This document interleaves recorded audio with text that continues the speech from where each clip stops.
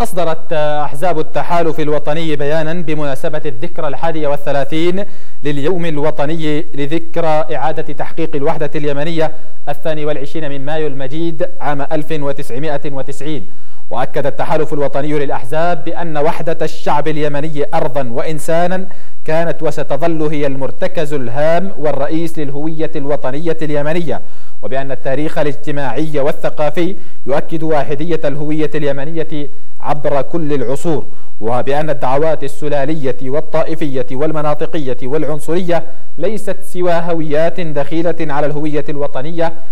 الواحدة وعلى النضال الوطني الواحد وهو ما أكده واقع اليوم.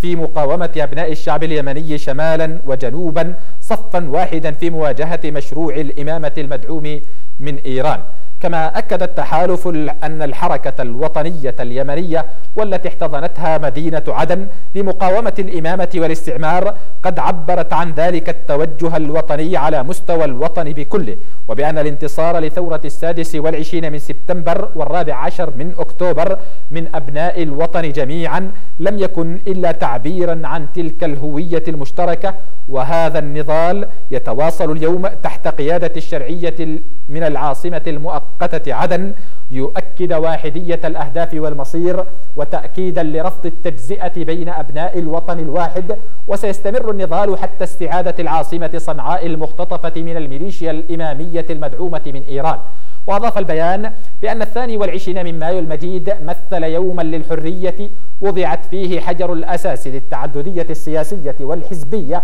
وفتحت فيه آفاق جديدة نحو الممارسة الديمقراطية وحرية التعبير والتداول السلمي للسلطة وأكد تحالف الأحزاب بأن الأخطاء التي أفرزتها الصراعات السياسية لا يمكن تحميلها الوحدة أو المشروع الوطني وبأن معالجة تلك الأخطاء بما يحفظ لليمن وحدته وهويته الواحدة ذات مسؤولية وطنية تعني من كل الأح... تعني كل الأحرار من أبناء اليمن. ودعا البيان كافة أحرار الوطن وقواه السياسية ومكوناته الاجتماعية والثقافية إلى توحيد الصفوف في اتجاه هدف واحد هو استعادة الدولة وإسقاط الانقلاب وصولا